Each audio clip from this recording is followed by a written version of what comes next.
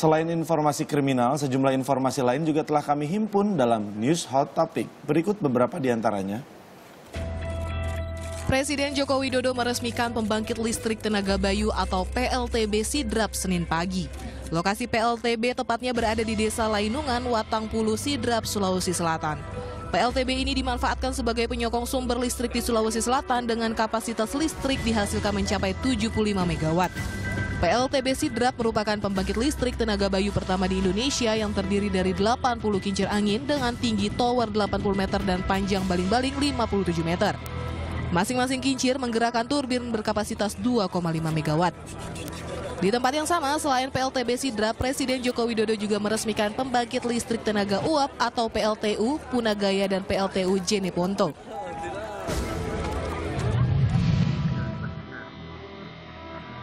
Tim penyelamat gabungan akhirnya menemukan tim sepak bola remaja Thailand beserta pelatihnya Senin malam waktu setempat.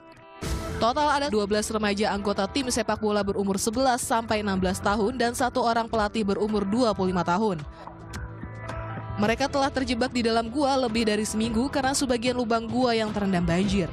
Peristiwa ini juga menarik perhatian dunia internasional bahkan militer Amerika Serikat turut bergabung dalam penyelamatan ini. Masyarakat Thailand bergembira dengan penyelamatan ini. Tim SAR mengevakuasi para korban ke tempat aman dengan peralatan yang tersedia.